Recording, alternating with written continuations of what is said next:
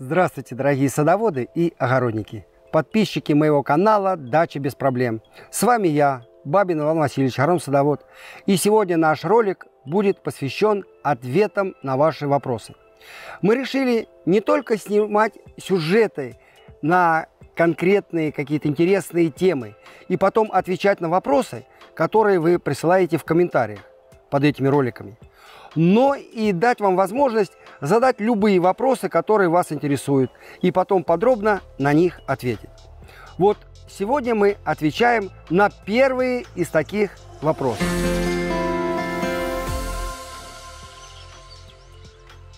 Итак, первый вопрос от Елены Фадеевой. Участок очень маленький. Придется посадить томаты и огурцы в следующем году по несколько кустиков на том же месте – где росли и в этом году. Подскажите, пожалуйста, как обработать и подготовить для этой цели почву сейчас. Ну, сажать э, культуры на одном месте подряд несколько лет, как мы уже не раз говорили, не лучший вариант. Поэтому старайтесь всегда так распланировать участок, чтобы они у вас росли на новом месте. Ну а если такой возможности нет, то в этом году обязательно вот на этом участке, где растут у вас томаты, перцы, огурцы, убрать все растительные остатки полностью и выдернуть корни, чтобы корней не оставалось, потому что на них накапливаются иногда вредители и болезни, которые угнетают именно эти культуры. А листья, ботву, все нужно будет убрать. Теперь на участок осенью перед перекопкой, если вы каждый год э, перекапываете почву, внести Перегнивший навоз или компост из расчета ведро на квадратный метр. Помните, что свежий навоз нельзя, куриный с опилками носить нельзя. Если у вас есть зола древесная, жгли ветки или там баня, мангал, то просейте ее, крупные угольки отложите в сторону, вы их потом еще раз дожгете, а пепел, литровую банку примерно на квадратный метр, выносите тщательно, перекапываете, если вы органические удобрения не вносите, то можете внести минеральные удобрения, осенние, так называется оно. Из расчета там 20 грамм столовая ложка на квадратный метр. Елена Фадеева еще один интересный э, вопрос задала. Посоветуйте, пожалуйста, лучшие сорта зимних яблонь и назовите срок посадки саженцев в Воронежской области. Спасибо вам большое за предыдущую информацию. А, значит, ну, по срокам посадки у нас есть специально ролик, где мы отвечаем подробно на этот вопрос и объясняем, в какие сроки можно и в какие сроки лучше сажать. Так вот, плодовые деревья можно будет посадить осенью. Если с открытой корневой системой, то где-то в конце сентября, в октябре месяце, иногда, если очень теплая, то и в начале ноября. Ну, чтобы недели две до наступления заморозков. Если с закрытой корневой системой, то их можно уже сажать сейчас – весь сентябрь, октябрь и в ноябре до наступления заморозков. Если осенью по какой-либо причине не посадите, то вы эти саженцы можете посадить весной. Постарайтесь это сделать пораньше, до распускания почек, пока эти саженцы не тронулись в рост а, в питомнике. Ну и по сортам. Из зимних сортов вот я бы посоветовал обязательно посадить спартан, мой любимый сорт – красивые красные яблоки, внутри мякоть белая, сочная, очень хорошо хранятся.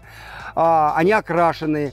Кто не любит окрашенные или кому нельзя красные яблоки, то есть сорт зеленых яблок, которые также хранятся на новых. Ренет Семиренко. Хороший сорт Синап северный и Синап орловский. Они покрупнее, покрасивее. Правда, северный Синап хранится получше в подвалах. Наталья Жарикова. Средний Урал.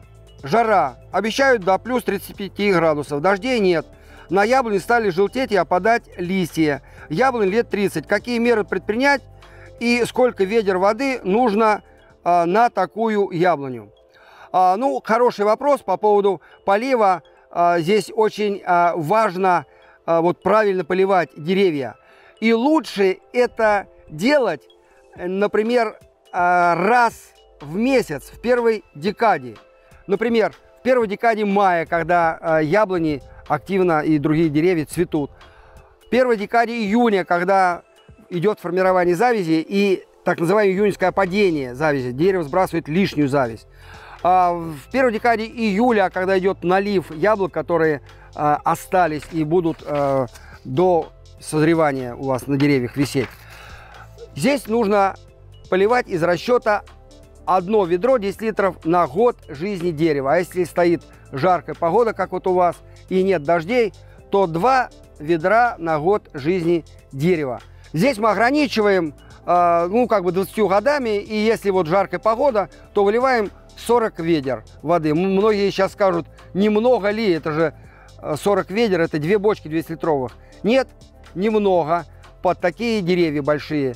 А, представьте себе, вот вы подходите к дереву, смотрите на крону, и раза в полтора больше у этого дерева такие же корни. Причем поливать желательно не под ствол штамп основной, где тонких корешков нет, а по периметру крона, где находятся тонкие а, рабочие корешки, всасывающие корешки, которыми они всасывают и влагу, и питательные вещества. И обязательно постарайтесь э, под деревьями сделать приствольный круг, полтора метра, а под большим деревьям даже 2 метра в диаметре, и его замульчировать скошенной газонной травой, соломой, сорняками, чтобы вылитая вами влага не испарялась быстро, а вся оставалась в почве под мульчой. А, такой полив будет гораздо лучше, чем если бы вы поливали по ведру каждый день. Вы за месяц можете вылить под дерево 30 ведер, но одно ведро смачивает на квадратном метре 3-4 сантиметра. Здесь корней деревьев нет, и вся эта влага за сутки испаряется. Поэтому поливаем реже, но обильно, достаточно раз в месяц. Следующий вопрос задает Илья э, Гайсин. Здравствуйте. Достался сад со старыми яблонями, 30-40 лет. Снимить сюжет, как их омолодить, уменьшить высоту, как правильно обрезать и залечить дупло. И еще самый важный вопрос. Дерево разломило пополам. Можно ли его спасти и как правильно залечить такой разлом? Ну, по поводу обрезки и омолаживания старых деревьев у нас снято три ролика, потому что эта работа делается не в один год, а поэтапно, вот в течение трех лет.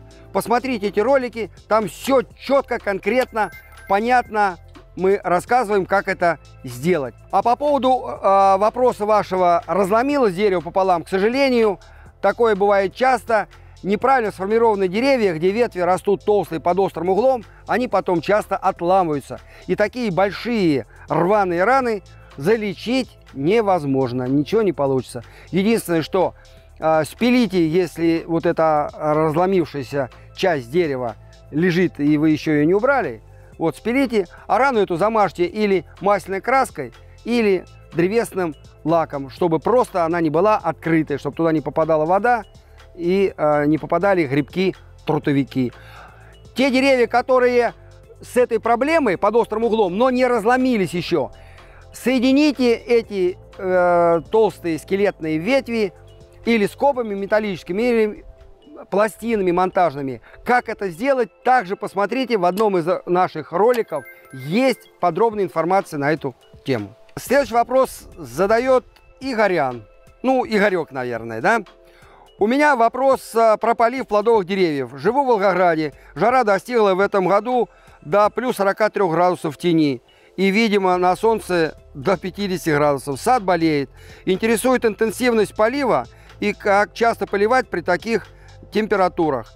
Ну, аналогичный вопрос уже был а, про поливы. А, значит, и в такую жару, тем более, и вообще а, в течение сезона – деревья нужно поливать регулярно. Как я уже говорил, правильный будет, если вы будете поливать их хотя бы раз в год, но обильно. Так, ну и последний на сегодня вопрос. Отвечаем двум иксам. Ну, вообще у меня такая просьба убедительная к вам. Вы не стесняйтесь, а, задавай вопрос, пишите свои фамилии, а, как вас звать. И обязательно указывайте э, область или регион, где вы живете, где вы э, имеете свой участок и выращиваете сад. Мне легче будет сориентироваться, ну, зная примерно ваши климатические условия, почвенные условия, э, легче будет правильно ответить на ваши э, вопросы. Ну, а вопрос от иксов такой. Урожай яблок и слив собран. Можно ли сейчас начинать подкормку калийно-фосфорными удобрениями, совмещая с поливом? или ждать осени. Вот э, не совсем понятно, зачем вы собираетесь ждать осени, чтобы подкормить этими удобрениями. Подкармливать этими удобрениями нужно во второй половине лета. Азотных удобрений уже растениям в это время много не нужно. То есть совсем исключать нельзя, но просто много не нужно, чтобы они э, не жаровали, не росли сильно. Но в это время нужно как можно э, больше регулярно э, фосфорных, калийных удобрений и разных микроэлементов. Потому что в это время идет созревание урожая. И урожай должен хорошо созреть, быть красивым и вкусным. В это же время продолжается закладка плодовых почек на следующий год. В это время идет вызревание коры, древесины, сформировавшихся почек. И для этого всего нужно постоянно питание, именно калийно, фосфорными удобрениями, микроэлементы. Вот. А э, осенью глубокой, если вы внесете эти удобрения, то они будут лежать в земле до весны. И весной, когда дерево оживет, тогда корни начнут их из почвы забирать. Поэтому пока еще не поздно, именно сейчас нужно подкармливать деревья этими удобрениями. И в почву делать подкормки с поливом лучше, чтобы сразу уходило все к корням. И можно делать не корневые подкормки по листьям, чтобы эти препараты сразу попадали в листья.